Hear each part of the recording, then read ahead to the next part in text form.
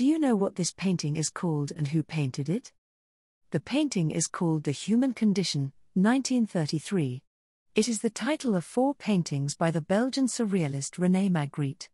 One was completed in 1933 and is in the collection of the National Gallery of Art in Washington, D.C. Another one was completed in 1935 and is part of the Simon Spierer collection in Geneva, Switzerland. A drawing with the same name is kept at the Cleveland Museum of Art, and another picture is part of the Norfolk Museum collections.